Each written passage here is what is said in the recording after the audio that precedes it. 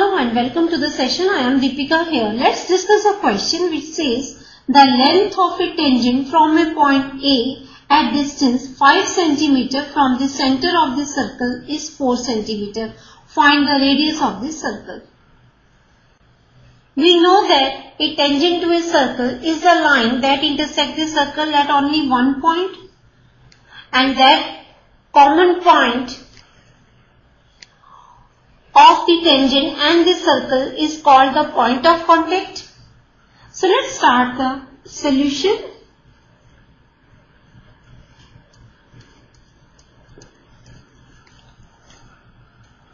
We are given a circle with center O.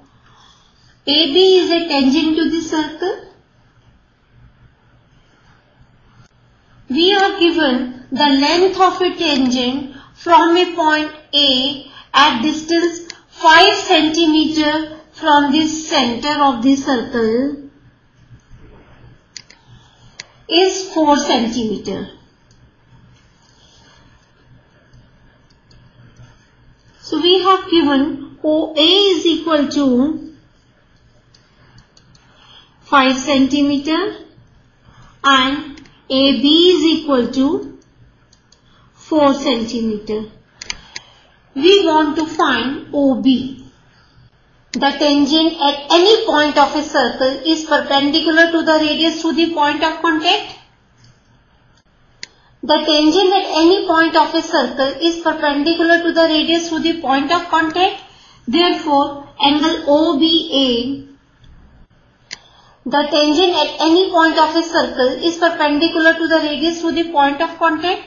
Therefore, angle OBA is equal to 90 degree.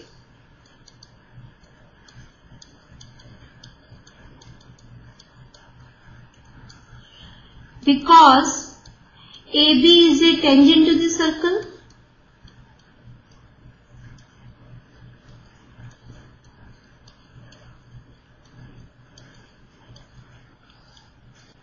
So in right triangle OBA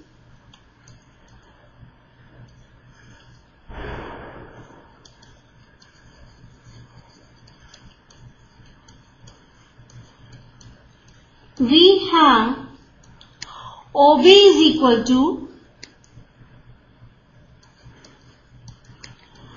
under root of OA square minus AB square.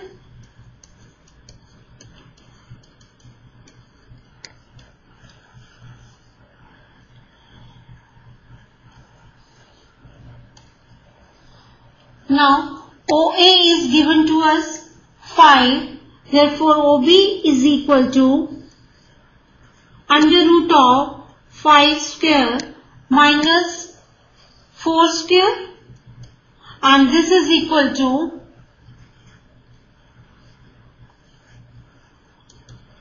under root of 25 minus 16 and this is again equal to under root of 9 which is equal to 3.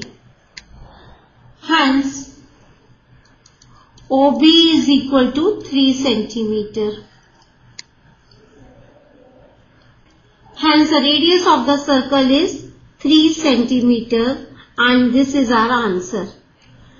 I hope the solution is clear to you. Bye and take care.